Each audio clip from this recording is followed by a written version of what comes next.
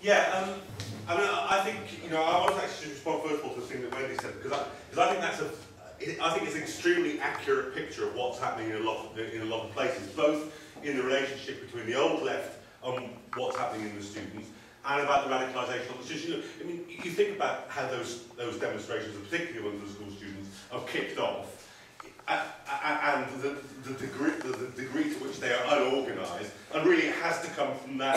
It, it must look like that in microcosm. If it looks like this in macrocosm, that must be what's, what's going on. But I think you're absolutely right, and other people make the same point. That's the beginning of a process. I mean, th this has happened so many times in history. You know, when uh, when the Levellers organised what they called the apron youths, the apprentices of London, who were exactly these kind of kids, kicked off like this in outside the doors of Parliament, forced the MPs to have to leave the House of Parliament by the river because they couldn't get out any other any other way. If you think about, if you think that we've got a problem with the sort of starting point, if you like, of you know kids in Hackney, think what it's like if you're a Russian peasant. You know, you were starting with a very very low political culture, and they made a revolution. So this is a this is the beginning of a process. It's not the end of the process. And think what we've got to think through is how, exactly as you say, we get more people who actually go, more lecturers who actually go on the demonstration. You know, it's, it's that simple. You're there and you're in and you're talking to them. You're not there, you're not in, and you're just passively admiring them or condemning them or who cares what you think of them, really. You're not in that structure, you're not in that room with them. And I also think the thing about twinning is a good idea. We had the idea at the beginning, we've never really actioned it, of, of twinning with the, the, you know, the colleges getting down there. And I think it'd be great if if Faisy or James or somebody went down to Hackney College and said, you know, we're from the SOAS occupation, this is what we're doing, let's get that interaction going. Let's have the open day. Let's have a thing where we go to the people at Hackney College and say, this is your only chance to go to college for free. We're opening up the college, we'll take you on a tour. And I think that would be a brilliant thing because, you know, I came from a working class background. I know what it was like. The first time I went to go, you know, when you go after the open days, when you go and supposedly choose what university you want to go to, actually they choose whether or not you're going to get in. Actually, just physically walking into a university building, if you're from a working class family, that is an intimidating thing to do. It's a frightening, scary, unreal place to, to be. I, I actually think it will enhance the life chances of the kids. They're more about developing politically if we actually got someone to come through the door with some of the occupiers and just show them around, even after the occupation. Just show them around and talk to them. Book a room and have a chat with them. You know, that's what that's practically what it that, that is practically what it means to deliver solidarity between lecturers and the students on the one hand and the university student and the others on the and that's how we'll strengthen it. And that will feed through if that relationship builds, it will be a politicising relationship, and it means the next time there's a huge demonstration, it will be, because of that, more political and more focused, and more disciplined, and therefore more effective than some of the ones that, some of the ones have to be. And we have to think very, you know, clearly about that. And as I said, we've got very, got, the core is a very powerful tool here because it is an organised, existing national link with the with the left and with workers and the demonstration in mid-February and the TUC demonstration, they're very important points that we pull those, uh, those, those people into. And I just say really, the enemies here are, the enemies here are working with generalizations and working with hyperbole. Because you don't put things clearly, and, and that's why I'm talking about your buildings, put it absolutely clearly and concretely about what needs, uh, needs to be. done. anybody, you know, when I came into politics, one of the first things I was told is the argument for socialism you can make in two minutes. What do you need to know? That capitalism is an exploitative society driven by profit, that we've got the capacity to run it ourselves, we have to smash the state to get there. That's it. That's all there is to the argument to socialism. That's not the difficult bit. The difficult bit is how do you actually make the next step, and the step after that, and the step after that. Those are the, those are the, the, the, the difficult questions. And to be able to do that, you have to be ruthlessly honest about what's happening around you. The other thing I was told, I, I remember this from, from Tony Cliff when a member, then the SWP, came to Roger Cox, who was an engineering worker, and he said to Cliff, I've, I've been elected the president of Hackney Trades Council and I represent 20,000 workers. And Cliff said to him, that's marvellous, Roger. How many people were in the room when you were elected? So he said, 10. So Cliff said, and how many people voted for you, Roger? And he said, seven. He said, Roger, you represent seven workers, not 20,000 workers. And that, that kind of ruthless humility about what we've actually done, what the forces are around us, and what the next step in the, in the argument is, is absolutely key. And the generalisations are important. You can never locate yourself without generalisations. If you don't go to capitalist state's a bad thing, you're going to be awfully surprised by the last few days. If you did think it was a bad thing and it would you forced to defend the privileged orders, well, maybe, you know, I mean, the exact things that happen are always surprising, but the fact that they happened isn't really surprising. They're important, but then you move on. Then the hard work really, really begins. And on that, to just come to the question you asked about what next. Now, you know, uh, I thought I'd sort of break with the tradition on the left and actually address the, the question that was the title of the meeting, which was how can we break the ConDem government. So that's what I, what I thought about. But you're absolutely right. Of course, breaking the government is in one way only a beginning uh, as well. And we certainly don't want to perpetuate the cycle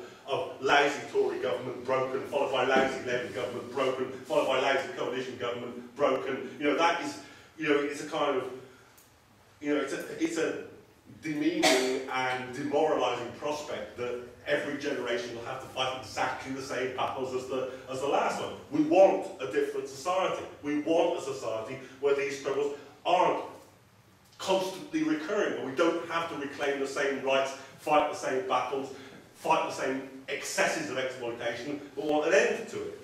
But the question is, how do you get there again? And if we break this government, that is a very big step on, on, that, on that direction. What would have to happen for that, and we, that's by no means achieved, but for that to move forward, is first of all, there are a larger number of people who are actually convinced that there should be a completely alternative system. And to be honest, that's what Counterfire's about. It's about making sure that the struggles of today are successful, but within the struggles of today, there's a larger minority of people who say, look, actually, we don't just need to win today, we need to win once and for all for working people, and you have to build a larger and larger minority within the struggles of today that believe that have a possibility of transforming the, the, the, the system in the end of the day. And that will have many, there are many links in that chain still, one of which, Joseph was saying, may well be that we form a, a, a left, a broad left party. I mean, Tariq Ali raised this with Lindsey and I in a discussion the other day. So what we really need is a sort of broad left alternative uh, to Labour as a kind of start, as a kind of starting point. And actually, I agree with that, but I think that we're, let me put it this way. Imagine that we do get it right. And imagine there is an absolutely huge, say there's, you know, a quarter of a million people on the streets on the 26th of March. Now that will create a kind of basis in the movement of radicalised people who will begin to say we need political representation at the next election. You know, we tried Labour, it fucked up, look at the war. In disgust at Labour, some people thought the Liberals would work. That quite fucked up in seconds. So uh, maybe there is another alternative that we have to build ourselves. But to have the basis for that, we've got to get some forces actually arrayed, I think, first of all, in the protest movement. This is, you know, what we did, what, what happened really to stop the war was we got an electoral out of it. Actually, within its limits, a fairly successful one before it fell to, fell to bits. But you have to have a, a mass presence of opposition before you can build a, a, a mass platform for electoral activity, and we don't have that at the moment. If we call the party now, I'll tell you what we get. We get the old left assembled in a room arguing with each other, and I can't imagine a worse place to be. So, first of all, I'd like at least to have a demonstration of workers on the scale and the impact of the student demonstrations, and then we can talk about is getting the links of the chain in the in the right order, which I think is the key the key thing. I, th I don't I don't know about the, the the effect of Christmas. You know, I don't know. I don't. I, I, that's what I said at the beginning. I don't think anybody can exactly tell what the mood is going to be.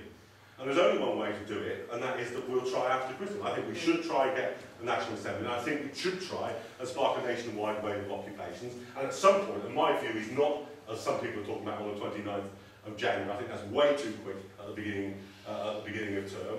I think it would be better if we're coordinated with the core demonstration in London that we're talking about, because that would be a practical place where the next big student demonstration would also be the next big general anti-cuts demonstration as well. That would be a good place to be. I don't know if we can win these things, but I think that would be the, the, maximum part. You know, it's like that story about Lenin in the middle of 19, uh, in 1917 when there had been a period of reaction, he was in hiding, he didn't know whether the revolution was going to take another step forward or whether it would be decisively set back. And the story goes that you know, he's in hiding, hiding in a, with, a, with a worker, and it was only when at the lunch table the worker broke the bread and said, you know, we still get good bread. They aren't confident enough to take that away from us. that Lenin thought, okay, the confidence is still there among the movement, there will still be another move forward. Now, I don't know what the equivalent of that's going to be. Probably next meeting we have some people come forward from the students and say, look, you know, they're bragging that the pot noodle's cheaper now and so forth and so on. I don't know what that movement's going to be, but um, you know, we'll we'll wait, we'll we'll call something and we'll see what it's like. And there's only one way of ever testing this: is that you you you formulate your best option about what you think should happen. You try to put it into action, and you assess the, the, the results afterwards. You know, we had a Counterfire meeting, I think it was a very important Counterfire meeting, where we said we need a nationwide wave of occupations, we need SOAS to have a big occupation, we need that to be a spark. And, you know, I've rarely seen the plan actually go into operation with so few uh, amendations in, practice as we did as we did then. We'll try that again, and that is the only serious method that any uh, you know, vital organisation has.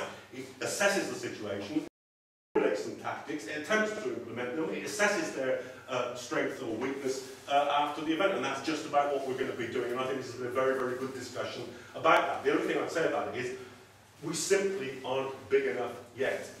If there had been, if when we'd had that first discussion, if there had been representatives not just of SOAS and a couple of other colleges, UCL and whatnot, if there had been 10 colleges in the room, we would be a hell of a lot further down the road. You know, two or three more counterfire members isn't just, you know, one or two percent greater in the struggle. Two or three more counterfire members is 20, 30% stronger when it interacts in the correct way with the struggle. So all I'd say you, please, if you're not a member of the organisation, you should be. And not for us, but for you. It strengthens you. It's about what you can do. You know, people say, you know, joining left-wing organisations, it diminishes your you know, power as an individual.